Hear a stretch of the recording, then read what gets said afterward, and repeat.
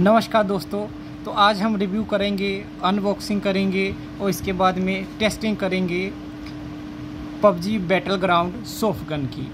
बड़ा सॉफ्ट सा गन है। सॉफ्ट गन मतलब कि इसके बुलेट्स की वजह से कहा गया है। बिल्कुल थर्मोकोल का इसके बुलेट्स बनाए गए हैं। तो आप देख रहे हैं तो जो इसका बॉक्स है, इसमें से एक आपको गन नज़र आएगी और चार बुलेट्स हैं। जो बुलेट्स हैं, बिल्कुल सॉफ्ट थर्मोकोल के बनाए गए हुए हैं। ताकि जब बच्चे यूज़ करें, लग भी जाए तो कोई इंजरी का ख़तरा ना हो।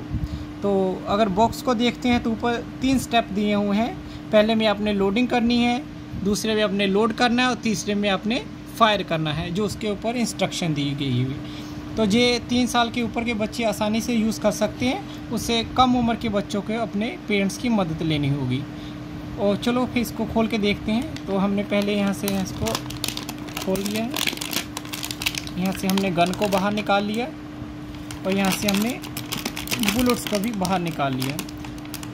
ठीक है? तो बुलेट्स आप देख सकते हैं, बहुत सॉफ्ट सी बुलेट्स हैं थर्मोकोल की बनी हुई हैं। तो अगर कहीं लग भी जाए, बच्चों के लिए खासकर ऐसे डिज़ाइन की ही कहीं लग भी जाए तो बच्चों को इंजरी का कोई ख़तरा ना हो। और इसके सामने की तरफ़ आप देखेंगे तो एक ऑरेंज कलर का चिप चिपकने वाली आइटम लगी हुई है। इससे क्या है, जहाँ पे बुलेट लगेगी, वहाँ पे ज़्यादातर चिपक जाती है। लेकिन उसके लिए आपको अच्छे से इसको फायर करना होगा। और गन की तरफ़ देखते हैं तो गन बहुत सुंदर सी गन है। कलर बहुत प्यारा है इसका। ब्लू कलर है। तो इसमें से एक सिंपल से ट्रिगर है, जो आपने दबाना है। फ्रंट की तरफ़ आपने यहाँ पे लोडिंग करनी है। और पीछे से आपने पिस्टन को खींचना है, ताकि वो लोड पूरा हो सके। ये पिस्टन वगैरह इसका बहुत सुंदर सा और मज़बूत सा दिया हुआ है। आम जो मेलों में मिलती हैं को उस तरह की नहीं है, जो बड़ी हल्की होती है, लेकिन काफ़ी सुंदर है और इसकी आवाज़ भी बहुत दमदार दमदार है। जैसे आपने सुना, आवाज़ खूब ही दमदार है तो अच्छे से लोड करके जब करते हैं तो काफ़ी दूर फायर किया जा सकता है। इसकी क्वालिटी बहुत ही देखने में अच्छी है और ख़ास महँगी भी नहीं है। सौ रुपये, डेढ़ सौ रुपये में आसानी से आपको मार्केट में मिल जाएगी।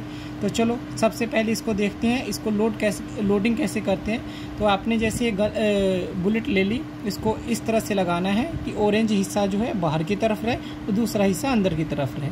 तो इस तरह। आपने देखा लोडिंग होगी तो इसके बाद में देखते हैं इसके बाद में हमने लोड करना है और पीछे वाला पिस्टन ऐसे घींच लेना है।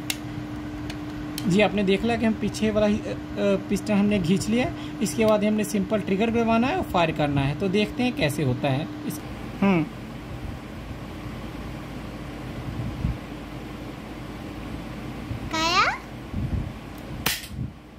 No.